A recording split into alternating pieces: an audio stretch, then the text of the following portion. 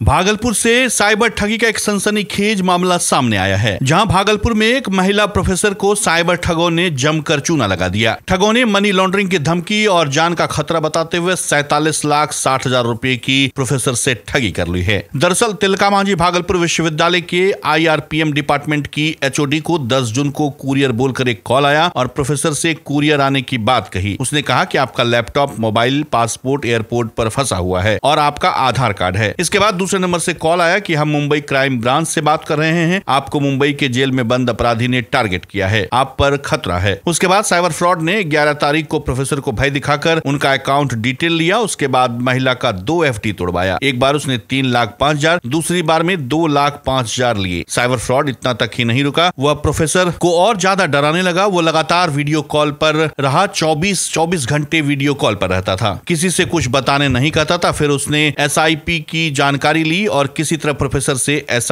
भुनवाया और उससे बयालीस लाख पचास हज़ार रूपए निकलवा लिए और अपने अकाउंट में ट्रांसफ़र करवा लिया। साइबर फ्रॉड ने महिला से कहा कि हम आपका पैसा रिटर्न कर देंगे, हम खुद आपको कॉल करेंगे। इसके बाद 20 की रात से उसका फ़ोन बंद हुआ और फिर प्रोफेसर को ठगी की आशंका हुई, तब उन्होंने 1930 पर कॉल कर पूरी जानकारी दी। साथ ही भागलपुर साइबर थाना में भी मामला दर्ज कराया है। ये 10 जून को तकरीबन दस ग्यारह बजे एक कुरियर वाले का मैसेज आया।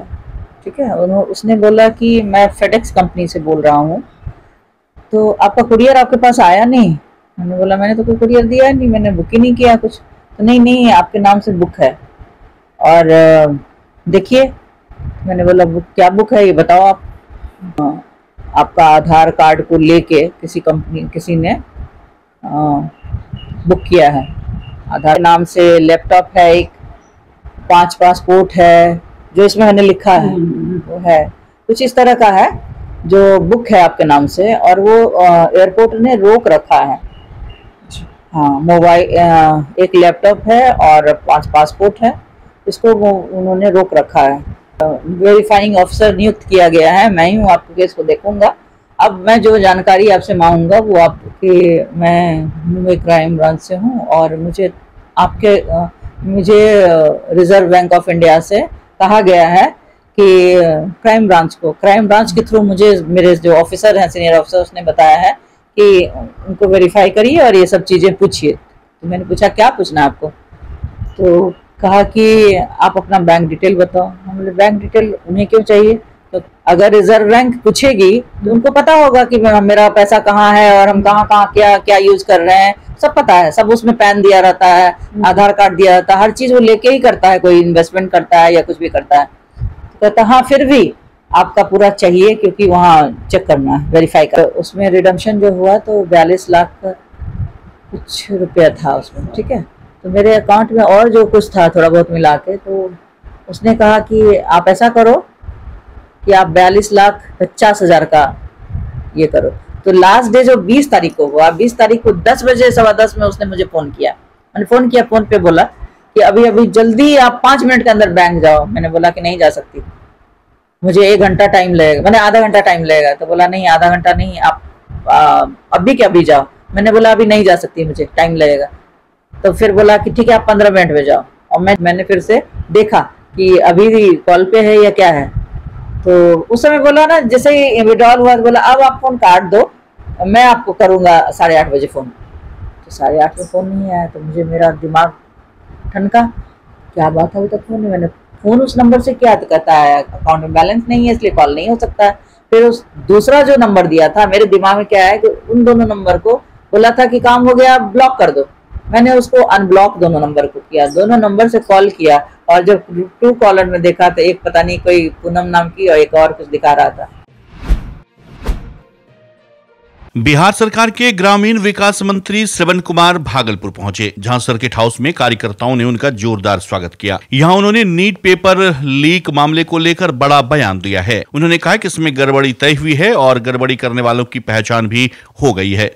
इस पर कड़ी कार्रवाई भी होगी। गड़बड़ी करने वाला कोई भी हो, कितना भी बड़ा रसूख क्यों ना हो, कोई बचेगा नहीं। जाँच हो रही है, लोग पकड़े भी जा रहे हैं। दोषी कौन है? यह जाँच हो रही है, सामने आएगा। कितना भी प्रभावशाली व्यक्ति या उनके साथ रहने वाले क्यों ना हो, वो बचेंगे नहीं। जब तक जाँच होती है, तब तक कोई उस पर तंज कसेगा और कोई इस पर तंज कसेगा ताकि सच्चाई सामने नहीं आ सके। मामले में दूध का दूध और पानी का पानी होगा और कोई भी दोषी बक्सा नहीं जाएगा। भागलपुर के नाथनगर प्रखंड प्रमुख दुर्गा दयाल ने बीडीओ अंतिमा कुमारी के खिलाफ डीएम से शिकायत की है। प्रमुख दुर्गा दयाल ने डीएम को लिखित आवेदन देकर बताया है कि प्रखंड कार्यालय नाथनगर पंचायत समिति योजना मद में राशि आवंटित 2022-23 एवं 2023-24 रहने के बावजूद बीडीओ अंतिमा कुमारी ने एक भी योजना की प्रशासनिक स्वीकृति नहीं दी है, जबकि प्रमुख ने आदेशित करने के उपरांत पंचायत समिति सदस्यों से प्रशासनिक स्वीकृति के नाम पर बीडीओ पच्चीस प्रतिशत की मांग करती हैं। नहीं देने पर योजना का कार्य शुरू नहीं करने दिया जाता है। साथ ही प्रमुख ने वीडियो पर इंदिरा आवास योजना में भी मनमानी करने का आरोप लगाते हुए सदर एसडीओ से इसकी शिकायत की है। उन्होंने बताया कि वीडियो अंतिमा कुमारी एवं आवास सहायक और कार्यपालक की मिली भगत से एक ही व्यक्ति को दोबारा आवास योजना का लाभ देने का आरोप लगाया गया है। प्रमुख ने वीडियो पर मनमानी और कई लाभुकों से पैसे लेकर उसे लाभ पहुँचाने का गंभीर आरोप लगाया है। वहीं नाथनगर प्रमुख दुर्गा दयाल ने कहा कि भ्रष्ट वीडियो के खिलाफ ग्रामीण विकास मंत्री और मुख्यमंत्री से भी पटना जाकर उनकी शिकायत करेंगे। उधर नाथनगर के प्रखंड प्रमुख दुर्गा दयाल ने अपनी जान मान की सुरक्षा को लेकर भागलपुर के वरीय पुलिस अधीक्षक को आवेदन देकर सुरक्षा गार्ड की मांग की है। साथ ही उन्होंने पुलिस अधीक्षक से कहा है कि उन्हें जान का खतरा है और वो असुरक्षित महसूस कर रहे हैं और उन्हें जल्द ही अंगरक्षक रक्षक मुहैया कराया जाए। दरअसल प्रमुख अपने जानमाल की सुरक्षा को लेकर प्राइवेट गार्ड को उन्होंने रखा था और गार्ड के साथ गुरुवार के दिन प्रखंड कार्यालय वो पहुँचे थे कि बीडीओ अंतिमा कुमारी ने मधुसूदनपुर थाने की पुलिस को सूचना देकर गार्ड को हिरासत में ले लिया गया था। जाँच के बाद गार्ड को पीआर बॉन्ड पर छोड़ा गया और गार्ड का लाइसेंसी हथियार भी जाँच के लिए रखा गया है। वही मामले को लेकर मधुसूदनपुर थाने की पुलिस ने जिलाधिकारी को पत्र लिखकर प्राइवेट गार्ड के हथियार, पिस्टल और राइफल के लाइसेंस की जाँच सक्षम पदाधिकारी से कराने की मांग भी की है। में प्रखंड विकास पदाधिकारी के द्वारा बोला जाता है कि ऑफ़िस खर्च के नाम पे 20 परसेंट हमें दिया जाए। उसके बाद जो है हम आपके किसी भी कार्य को प्रशासनिक करेंगे, अन्यथा नहीं करेंगे। इस वजह से हम लोग पिछले डेढ़ वर्षों से हमारे काम बाधित हो रहे हैं। पिछले डेढ़ वर्षों में हम लोग क्षेत्र में एक भी कार्य नहीं कर पाए हैं। और महँगाई हो गया है 25 परसेंट उनको दे दिया जाएगा तो फिर कार्य उचित नहीं हो पाएगा। कार्य जो है मजबूती ढंग से हम लोग नहीं बना पाएँगे किसी भी क्षेत्र में। और किससे की मनमानी की जा रही है वीडियो के द्वारा? वीडियो जब से आई है पूरा भ्रष्टाचार इतने दिनों में सबसे भ्रष्ट वीडियो हमारे नाथनगर में अभी तक आई। हम नहीं बताएँगे पूरे क्षेत्र का लोग बताएगा कि इनसे भ्रष्टाचारी कोई वीडियो यहाँ नहीं आई। इंदिरा आवास में किस तरह का नियमितता की इंदिरा आवास में बेलखुरिया में हम जाँच किए कल हम अपने अपने का कार्यपालक और इंदिरा आवास सहायक को बुलाए जाँच किए। इस जाँच में पाया गया है कि एक ही व्यक्ति को दो मकान मिला है। सुशीला कुमारी नाम है जिनको 2008 में मकान मिला था फिर से उन्हें 2024 में मकान दिया गया है।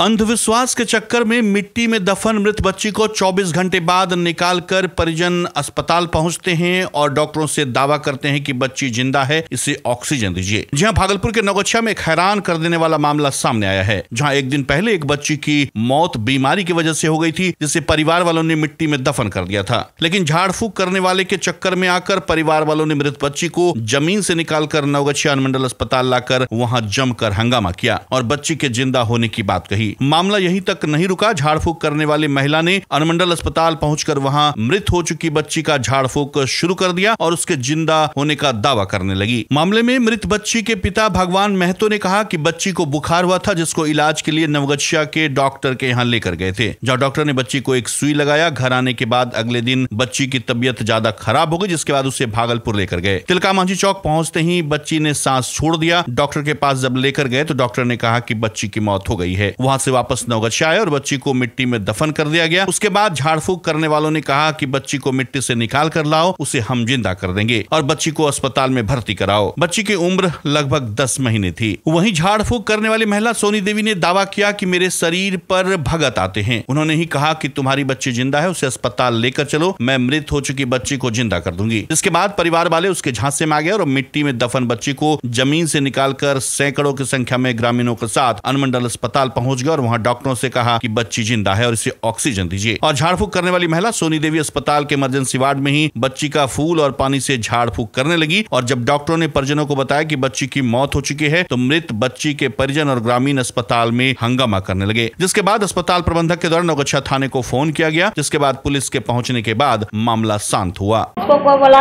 ना, ज़िंदा है, बच्चा, जो है ना ओझा को बोला के निकलवाने के लिए। तो हम बैठे हुए थे घर में तब गोसाई बाबा का जो हरदम जो आप ही का नाम लेंगे फला आदमी है फला आदमी तो आप तो आइएगा बाहर। आज ही बोले फला आदमी है फला डाल देगा। तो वही मतलब बिसारी माँ का नाम ले रहा था कि ये बिसारी माँ हमारा पे जन आधा दिन रात से लोग माँ ओझा। मतलब कोई और बोला मतलब ओझा कि निकलवाइए उसको। निकलवाया निकलवाया वही। निकलवाया ना। हम निकल कि दूसरा को कल को निकाले हम ना क्या सर हम क्या मार के बच्चा का क्या क्या नाम है? हम कहाँ बोलेंगे। क्या नाम है? हाँ देखिए हाँ हम बोल रहे हैं।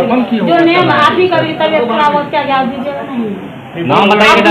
आपका नाम क्या है? नाम बताइए ना। नाम किस लिए बताएँगे? आपका नाम क्या है? किस लिए बताएँगे? बोलिए जानकारी के लिए जानकारी चाहिए हमको क्या चीज़ का जानकारी? आपका कोई चीज़ में फंसेंगे नहीं इंसान? नहीं, नहीं, नहीं। क्या कि देखिए हम सब दूर रहते हैं, झगड़ा लगा नहीं, करते नहीं नहीं फंसिएगा।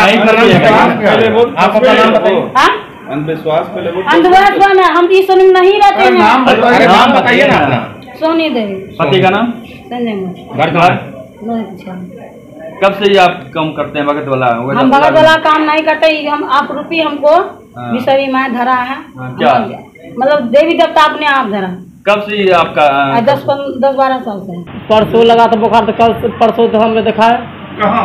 वो चंदन डॉक्टर कल उसके लाइन के ऊपर में। हम्म, ठीक। उसके उसके डॉक्टर नहीं था उसका पत्नी था वो सिया को दवा दे दिया।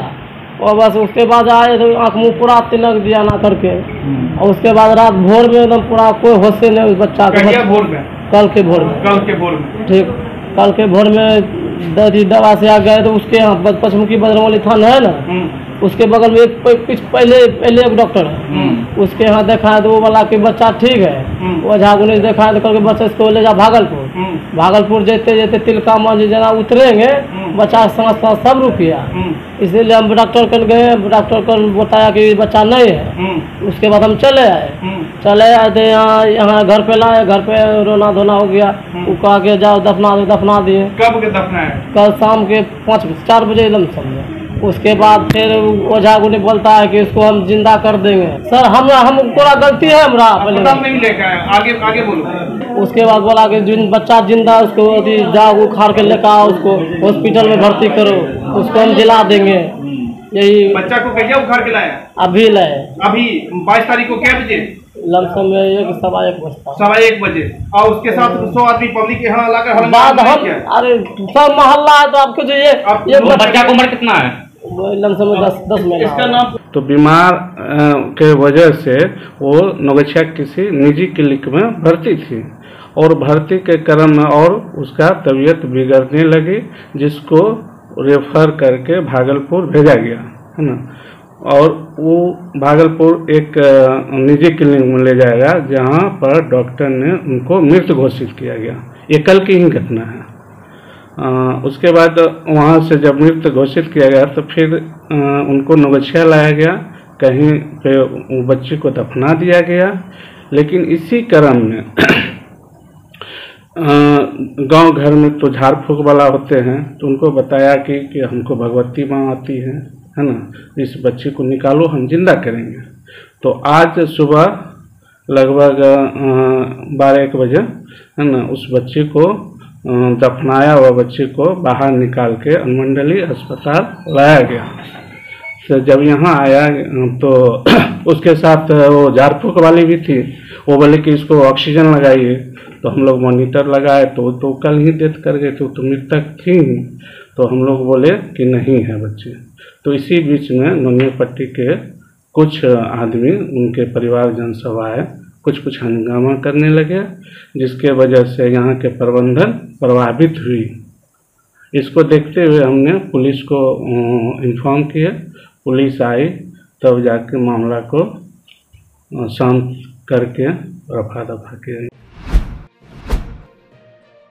अगर आप अपने बच्चों की हकलाहट, तुतलाहट या मूक बधिरता को लेकर चिंतित हैं या बढ़ती उम्र के साथ बहरेपन की समस्या से परेशान तो चिंता छोड़िए, क्योंकि अब भागलपुर में आ गया है इन सब का समाधान। Nirala speech and hearing clinic. Audiology, speech therapy के साथ साथ विश्व स्तरीय best digital hearing aid with rechargeable and Bluetooth facility. तो आज ही सुनने की जाँच कराएँ तथा सुनने की machine लगवाएँ। Nirala speech and hearing clinic. हमारा पता है, बड़ी पोस्ट ऑफ़िस के सामने, मेट्रो मिर्ची रेस्टोरेंट तथा सेंट्रल बैंक वाले रोड में, Bhagalpur, mobile, seven zero five zero one nine double three four one. हमारी दो और भी शाखाएँ हैं, पूर्णिया में Panchavati complex, Bihar talkies road, Line Bazar Purnia, और अररिया में टाउन हॉल के सामने वाले मिर्ज़ा गालिब रोड में, ए बी मेडिकल के समीप। नमस्कार, मैं डॉक्टर अजय कुमार सिंह शिशु रोग विशेषज्ञ,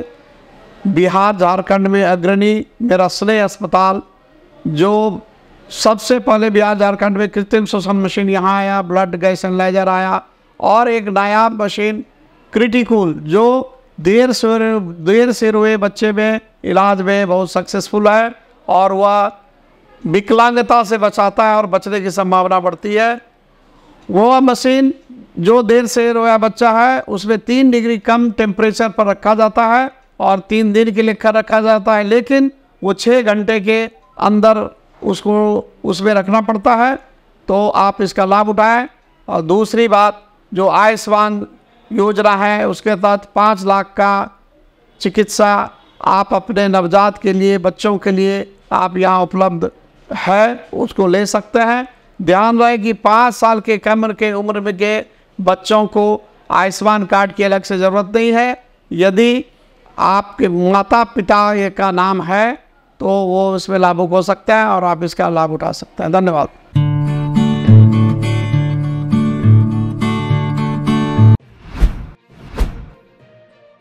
सुल्तानगंज रेलवे स्टेशन और महसी स्टेशन के बीच चतुर्थ वर्गीय रेलवे कर्मचारी मोहम्मद असलम का रेलवे ट्रैक पर काम करते हुए दर्दनाक मौत हो गई। घटना के बारे में बताया जा रहा है कि मोहम्मद असलम कल देर रात सुल्तानगंज और महसी स्टेशन के बीच रेलवे ट्रैक पर काम कर रहा था। इसी बीच कोई सवारी ट्रेन वहाँ पर आकर रुकी, फिर ट्रेन की जाँच करने के दौरान बोगी का कोई लोहे का सामान मोहम्मद असलम के सर पर आकर गिर पड़ा, जिससे मोहम्मद असलम उसी जगह घायल हो गया। इसके बाद वहाँ पर काम कर रहे सहकर्मियों ने मोहम्मद असलम को घायल अवस्था में भागलपुर के निजी क्लिनिक में इलाज के लिए भर्ती कराया, जहाँ पर डॉक्टरों ने मोहम्मद असलम को मृत घोषित कर दिया। इसके बाद मोहम्मद असलम के बहनोई मोहम्मद मिराज ने बताया कि मेरे बहनोई पिछले कई वर्षों से रेलवे में चतुर्थ श्रेणी के कर्मचारी के पद पर नियुक्त थे और कल देर रात इनकी रात्रि ड्यूटी लगाई गई थी। मिराज ने यह भी कहा कि परिवार के किसी भी सदस्य को यदि अनुकंपा पर नौकरी मिलती है तो रेलवे ट्रैक पर काम नहीं करने दिया जाएगा। उसे रेलवे के वर्कशॉप के अंदर काम मिले, क्योंकि जब रेलवे कर्मचारियों के साथ इतनी बड़ी हादसा हो जाती है तो विभाग किसी भी तरह की कोई मदद नहीं करती है।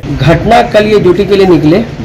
हम लोगों को ड्यूटी पर से ही आए हुए कुछ लोगों ने सुबह में मैसेज दिया कि काम करने के दौरान, जब ये काम कर रहे थे, उसी दौरान रेलवे ट्रैक जो उतारा जा रहा था रेलवे बोगी से तो वही उतारने के दौरान कोई लोहा स्टील लोहा का कोई रस्सी होता है, वही टूट जाने के कारण वो उनके सर पे आकर के लगा और वहीं पर वो गिर गए उनके जो सहकर्मी थे, जो उनके साथ काम कर रहे थे, उन लोगों ने आनंद फानंद में जो भी नज़दीकी हॉस्पिटल था, पहले एंबुलेंस को बुलवाया, पंद्रह बीस मिनट लगा उसको आने में।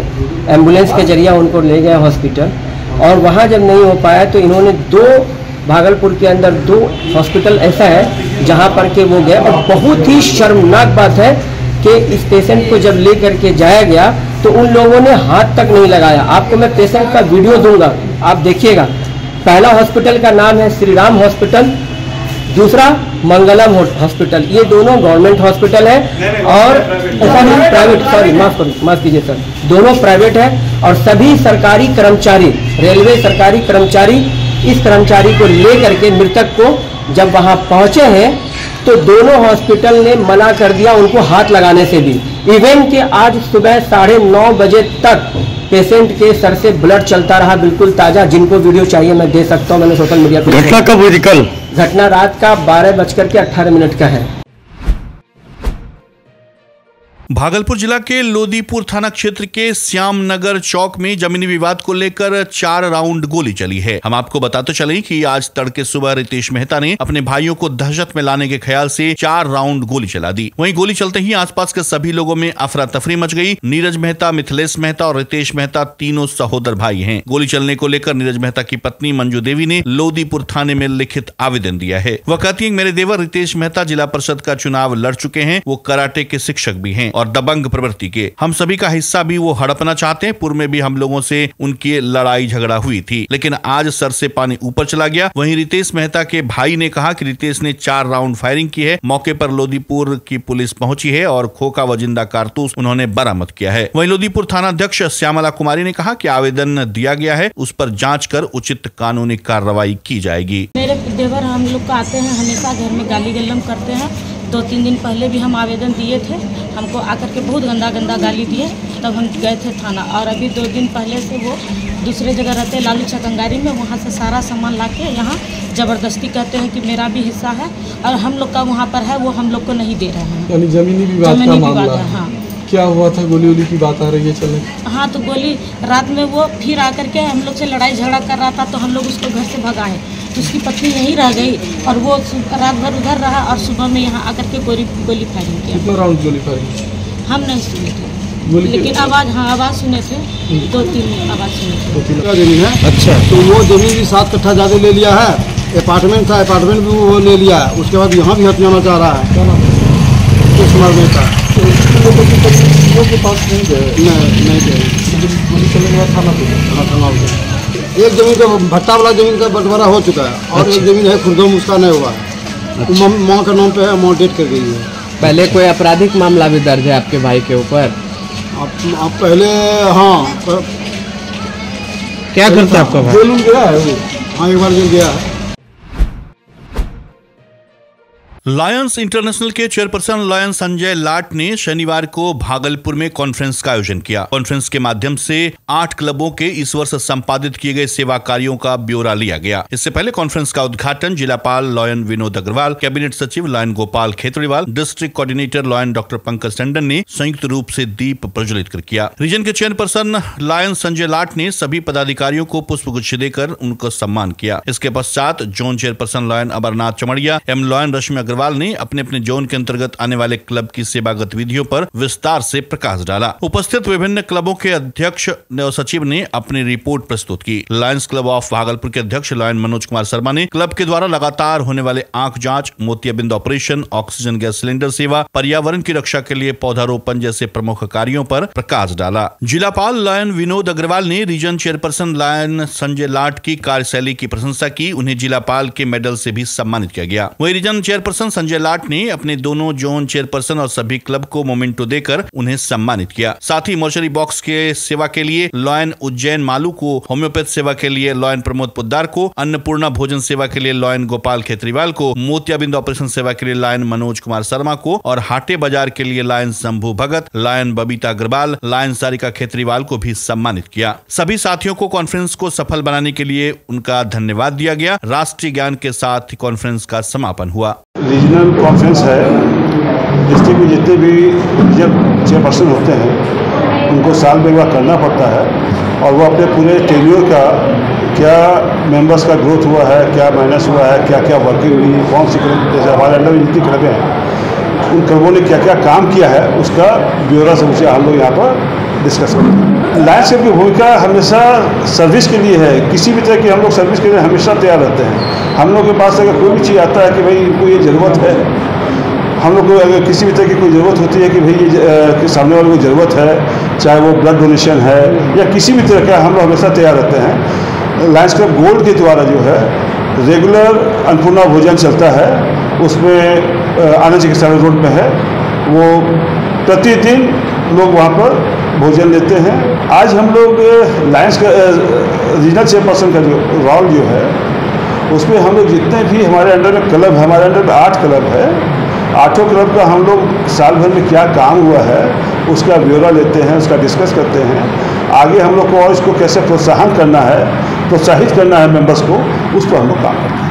आज रीजन नाइन का रीजन कॉन्फ्रेंस है, जो कि भागलपुर क्षेत्र का है। और भागलपुर क्षेत्र में जो हमारे नौ क्लब है, उनसे संबंधित उन लोगों ने पूरे साल भर तक जो सेवा कार्य किए हैं, या लायंस इंटरनेशनल के जो गोल्स थे विजन्स थे एक्शन थे, उसके बारे में पूरी परिचर्चा आज हम लोग इस बैठक में करें इस बार हम लोगों ने जो कार्य किया है, उससे पहला तो हम लोगों ने लायंस अम्ब्रेला का वितरण किया था सितंबर में। वृक्षारोपण का कार्यक्रम हम लोगों ने किया, सारे क्लबों ने बहुत अच्छे भव्य तरीके से किया। तदुपरांत हम लोगों ने सिलाई मशीन ज़रूरतमंद महिलाओं को दिया, हर क्लब ने दिया है। उसके बाद हम लोगों ने डायबिटीज़ किट के द्वारा, डायबिटीज़ के प्रति अवेयरनेस के प्रोग्राम को किया। दिसंबर में हम लोगों ने कंबल वितरण का कार्य किया और उसके बाद अभी जो अप्रैल और मई, ये दो महीने में शीतल जल, सत्तू और शरबत का वितरण कई क्लबों ने अपने अपने स्तर पर इन्होंने इनके क्लबों ने क्या क्या काम किया? किस तरह से किया और उसमें क्या आवश्यकता है कि हम और नए काम को कर सकते हैं। जैसे इनके समय में सबसे मुख्य रूप से विशेष सेवा में एक मॉर्चरी बॉक्स की सेवा। आज क्या होता है, परिवार के लोग बाहर रहते हैं, विदेशों में रहते हैं, आ नहीं पाते। डेड बॉडी को रखने के लिए, बढ़िया से रखने के लिए वो व्यवस्था सबसे बड़ी व्यवस्था है। आज अन्नपूर्णा भोजन, आज लोगों को एक समय सही से भोजन नहीं मिल रहा। हमारा लायंस क्लब भागलपुर गोल्ड लगा हुआ है, पाँच रुपए में भी भोजन मुहैया करा रहा है। आज हमारा लायंस क्लब भागलपुर, मोतियाबिंद ऑपरेशन में लगा हुआ है। आँखों की जाँच कम से कम में और मोतियाबिंद ऑपरेशन करा रहा है। होम्योपैथ की सेवा और आकस्मिक सेवा के लिए हम हमेशा तैयार रहते हैं। जैसे जाड़ा आएगा, कंबल वितरण। अभी काफ़ी क्लबों ने गर्मी में जल सुविधा कराई। सत्तू, शरबत अलग अलग तरह की चीज़ों को बांटते रहे। तो हमारे कामों की कमी नहीं है। बीते 15 जून 2024 को जोकसर थाना क्षेत्र के दीपनगर मोहल्ले में काजल देवी नामक महिला ने फांसी लगाकर आत्महत्या कर ली थी। इसके बाद माले कार्यकर्ताओं ने भागलपुर के समाहरणालय गेट पर धरना प्रदर्शन दिया था। माले कार्यकर्ताओं का आरोप था कि काजल देवी की हत्या हुई है। हत्यारे को अविलंब पुलिस गिरफ़्तार करे। इसके बाद कांग्रेस भवन में नगर निगम वार्ड नंबर 21 के पार्षद संजय सिन्हा की अध्यक्षता में एक महत्वपूर्ण बैठक बुलाई गई। जिस बैठक में स्थानीय लोगों के साथ साथ शांति समिति के लोग भी मौजूद थे। सबने एक सुर में कहा कि किसी भी मामले में निर्दोष फंसे नहीं और दोषी बचे नहीं। इसके बाद संजय सिन्हा ने कहा कि कुछ लोग मिलकर धरना प्रदर्शन कर समाज में शांति भंग करने का काम कर रहे हैं। काजल देवी का पोस्टमार्टम रिपोर्ट आ गया है। पोस्टमार्टम रिपोर्ट में फांसी लगाकर आत्महत्या करने की बात सामने आई है। वहीं शांति समिति के सदस्य कमल जायसवाल ने कहा कि यदि किसी को लगता है कि काजल देवी की हत्या हुई है तो वह गोपनीय तरीके से पुलिस को सूचित करे, पुलिस उस पर विधि सम्मत कार्रवाई करेगी। इस तरह धरना प्रदर्शन करने से शांति भंग हो जाती है। इस बैठक में वार्ड नंबर 22 के पूर्व पार्षद गुड्डू दुबे समाज सेवी अशोक गुप्ता विनयकांत सिन्हा समेत शांति समिति के कई लोग के साथ स्थानीय लोग भी मौजूद थे। विगत दो तीन दिन पहले एक मेरे वार्ड के रामदेव चौधरी की लड़की काजल फांसी लगा के मर गई। इस संदर्भ में कुछ गलत लोगों के द्वारा यहाँ प्रदर्शन, धरना प्रदर्शन करने का काम किया और दोषी व्यक्ति को बचाने का काम कर रहा था, निर्दोष व्यक्ति बच जाए फंस जाए, इसके लिए प्रयास किया जा रहा था। लेकिन मेरा कहना था कि जब तक कि पोस्टमार्टम रिपोर्ट नहीं आ जाए, तब तक हम लोग किसी के ऊपर आरोप लगाना गुनाहगार है। और इस बीच में कुछ लोगों ने एक धरना प्रदर्शन किया, आंदोलन किया और जाके जिला अधिकारी महोदय से मुआवजा का मांग किया। कि उसको मार दिया गया, उसको बलत, उसके साथ बलात्कार किया गया और उसको फांसी पर लटका दिया, जो निराधार है। दोषी बचे नहीं और निर्दोष फंसे नहीं। इसके लिए हम लोगों ने मेहनत करके आज समाज के लोगों को आगे करने का काम किया है। जो दुकानदारी करते हैं लोग, गलत तरह से उसका दुकानदारी बंद हो और जो निर्दोष व्यक्ति है उसको कोई सजा नहीं मिले, निर्दोष व्यक्ति बचे। ये सोलह तारीख को जो जैसा यहाँ हम लोग सुने, सोलह तारीख को फांसी लगा के काजल कुमारी मर गई है। बाद में पता चला हम लोग को अपने स्तर से मालूम किए तो काजल जो मरी है, वो अपने से फांसी लगा के मरी है। पोस्टमार्टम रिपोर्ट भी स्पष्ट कर दिया है। इसमें शरीफ लोगों को फंसाया जा रहा है। यहाँ के सीपीआई नेता मनोज गुप्ता, वो जान के फंसा रहा है। इसमें पुट्टू मंडल का नाम आ रहा है, जबकि पुट्टू मंडल इसमें कहीं दूर दूर तक वो है नहीं इसमें। हम लोग का मेन मकसद था कि समाज के अंदर में शांति बहाल हो। और दूसरी बात है कि जो आदमी निर्दोष है, वो फंसे नहीं और दोषी छूटे नहीं। मकसद ये था और समाज के तमाम लोगों को समरसता की बात बताई गई, शांति का पाठ पढ़ाया गया। और उनको संबोधन में ये कहा गया कि वैसे व्यक्ति को चिन्हित करें। जो व्यक्ति यदि इस घटना में इन्वॉल्व है, उसकी संलिप्तता है क्योंकि पुलिस भगवान नहीं है, वो खोज के पुलिस नहीं निकाल सकती है, उसमें यहाँ के स्थानीय लोगों का भी एक सहयोग चाहिए, तभी उस आदमी को, दोषी को पकड़ा जा सकता है। यदि वो अपने आप में आत्महत्या है तब बात कुछ और है। यदि किसी ने हत्या कर दिया है तो उसको खोजा जाए। पोस्टमार्टम रिपोर्ट क्या निकला पोस्टमार्टम रिपोर्ट में हैंगिंग का मामला आया है। यहाँ चर्चा का विषय रहा कि इसका बलात्कार हुआ। लेकिन ऐसी बातें सामने नहीं आ रही है। उसके अगल बगल के लोगों ने बोला हम लोगों ने ऐसी घटना के साथ किसी को देखा नहीं है। विष्णुदेव महतो ने अभी पूरा मंच से बताया कि नहीं सर हम लोगों ने कुछ देखा नहीं।